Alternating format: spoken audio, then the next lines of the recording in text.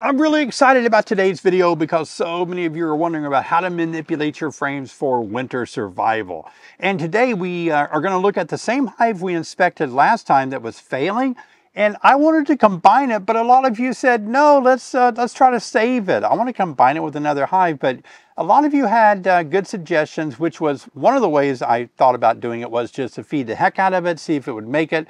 And you know what? My go-to method would be to combine it with another hive, but we're going to try the other method, which I don't think is always the best, but we won't know until we try it. And it's going to give you guys more insight on what you should do to combine and manipulate your frames.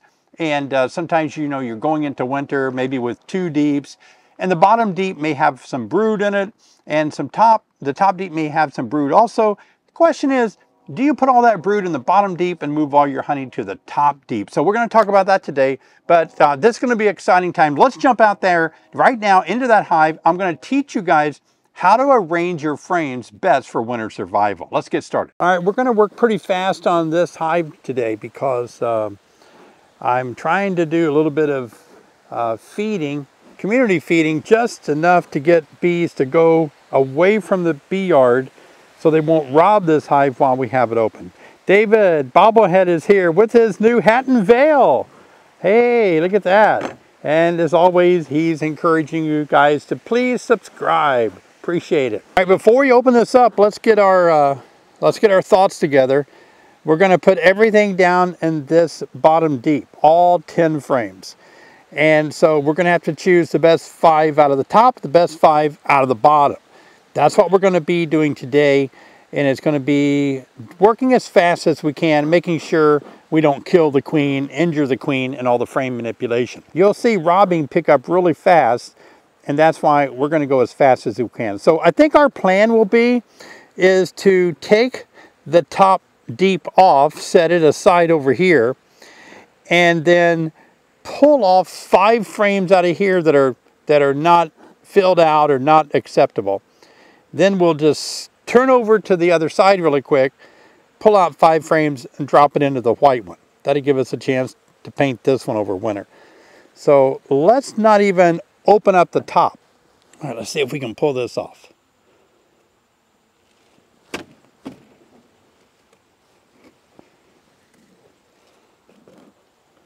Get a little smoke between the two boxes.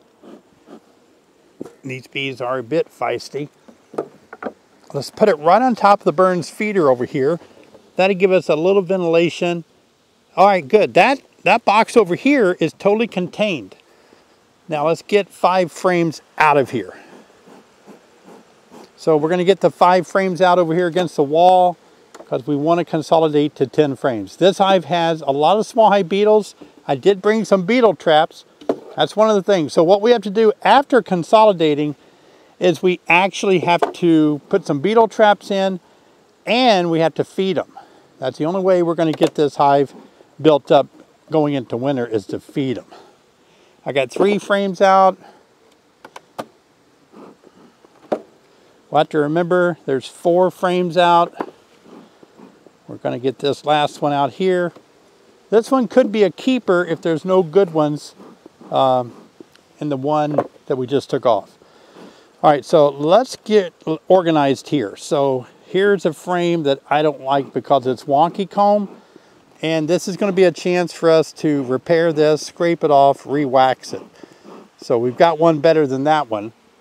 Set that aside for now. Let's take a look at this one. Again, another one with wonky comb on it, but it's not terrible. Yeah, it's not acceptable. Let's get rid of that one.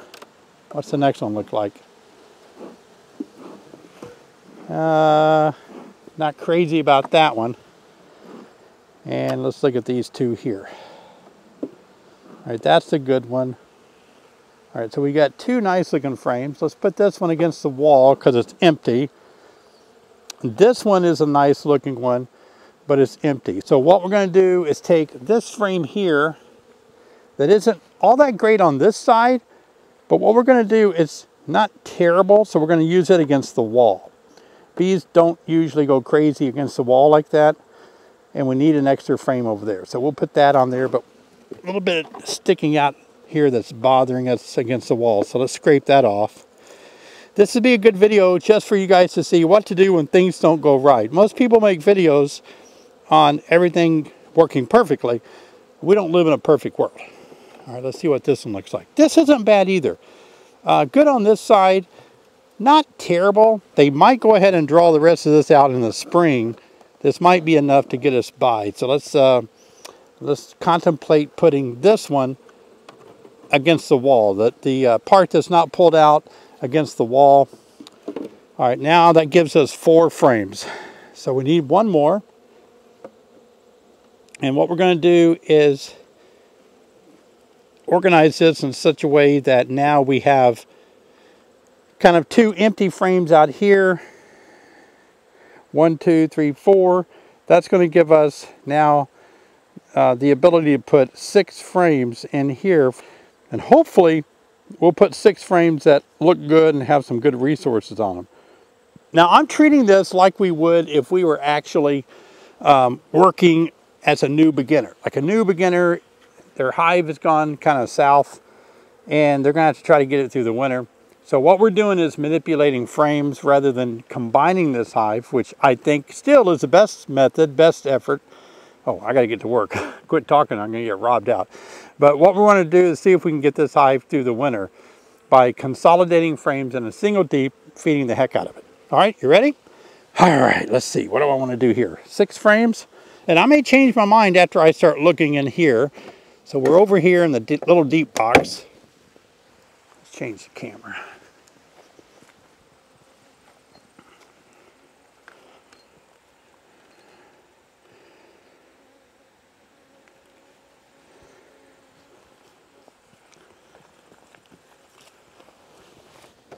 All right, so, oh yeah, not many bees. I remember this now.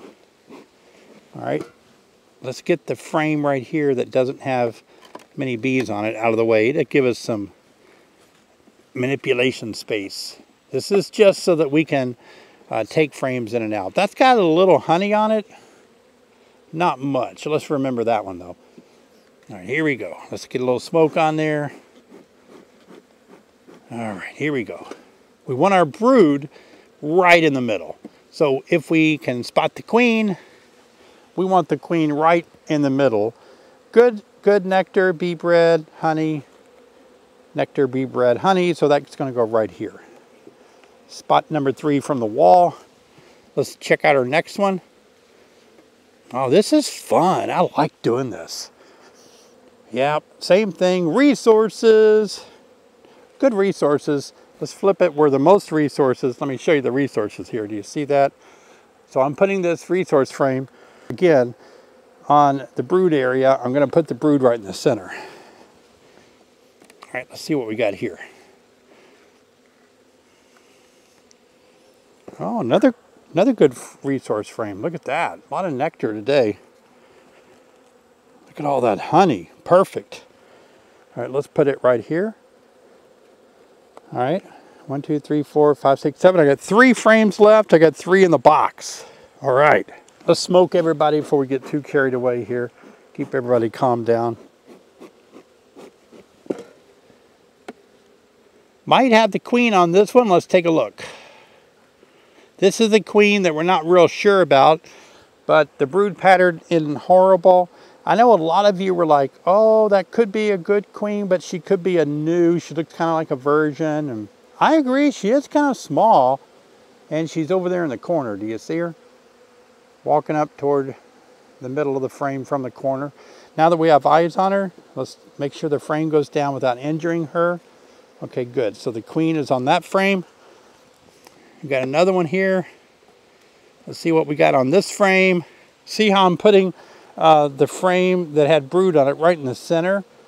Gosh, that looked like the about the only brood frame, wasn't it? This is a resource frame. I'm going to put it here. What's the next frame? Frame full of bees. Look at that. Oh, that's our brood frame. That'd be a perfect spot for the brood right here in the middle. Make sure it goes in easy. It does. Wow, that's not bad at all. Look at that. And we got to close this up. So what we're going to do now is put our feeding board on it. And we're going to feed it Ooh, I just smashed Bobble David head. David bobblehead, bobblehead David. All right, let's get the bees out of the way. Very good. All right, I don't see any robbing going on.